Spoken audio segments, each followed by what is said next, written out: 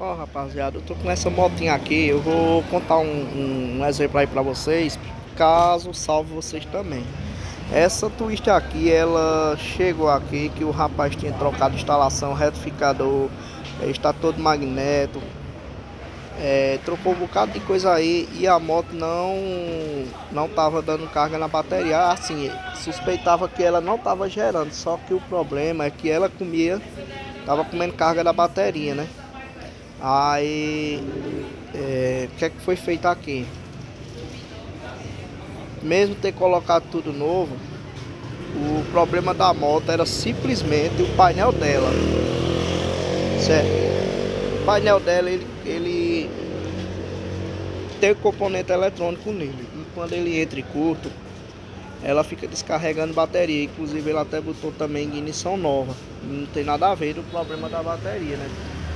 Segundo ele, estava sem gerar, descarregando bateria, essas coisas, mas não era nada disso. A moto tá gerando, só que quando você deixava a moto de um dia para o outro, ela descarregava a bateria, que tem alguma coisa roubando corrente. Aí assim, ela. É, desliguei a conexão aqui do painel, parou de descarregar.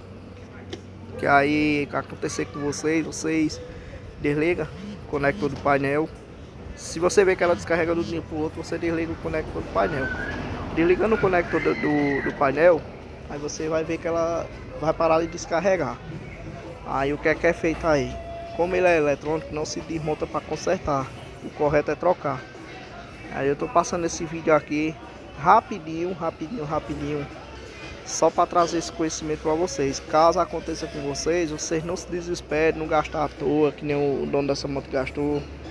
Eu disse a ele, eu digo, é, testei todas as peças. As peças original que estavam na moto também eu testei, tava tudo filé, retificador, é, estator, instalação também tava ok, né? É, a instalação dela ele trouxe numa bolsa. Eu fiz todo o teste de continuidade usando o multímetro, a instalação tava tudo correto, não tinha fio quebrado, não tinha fio queimado nem nada. Aí tô passando esse bisu aí, porque se caso acontecer com vocês, você já sabe como é, como testar, né? Que twister é um, um pouco complicado. É, quando acontece esse tipo de problema, né? De da moto ficar descarregando bateria. Depois eu vou trazer um vídeo aqui como, como fazer todos os testes, todos os componentes porque aí você não sai trocando peças em vão, como o dono dessa moto fez. Né? Olha, Trocou peças e não conseguiu achar o defeito. Eu digo, traga pra cá que a gente dá uma olhadinha agora com calma, sem, sem pressa, entendeu? Com muita paciência a gente consegue resolver. Então o dono foi muito impaciente, que é uma moto para trabalho. Ele, e de outra solução também, né?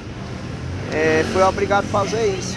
Então esse vídeo aí é só para concentrar você dessa situação acontecer com você, faça isso. Você testou ali, tá tudo ok. Desliga o painel, porque 70% dessas motos que começa a descarregar a bateria é porque o painel ele entra em curto. Aqui o painel entra em curto. Outra coisa, o painel dela, ele tem um fusível aqui na parte de uma caixinha que tem aqui na parte da bateria. Você tira o fusível e deixa o painel desligado. Se não quiser desligar o conector, desliga só o fusível. Somente ele já é, resolve o, problema, entendeu? Já consegue resolver, porque como esse bicho é eletrônico, tem capacitor, tem diodo, tem tudo dentro do painel, ele não vai estourar o fusível. Porque se ele estourasse, o que é que acontecia? Não ia descarregar o painel, ia ficar sempre é, torando o fusível, né? Mas como ele é pelo componente né, da placa dele, aí isso é, descarrega a bateria e não estoura o, o fusível, certo? Então esse vídeo aí foi só para conscientizar vocês e ajudar vocês a não gastar em vão. Então inscreve no canal, deixa o seu like aí, ajuda a gente. A gente vai trazer mais novidades para você. Passei uns dias aí viajando, não gravei mais. Agora eu estou gravando esse primeiro vídeo, né? Hoje, dia 2 de janeiro de 2023. Vamos voltar às ativas.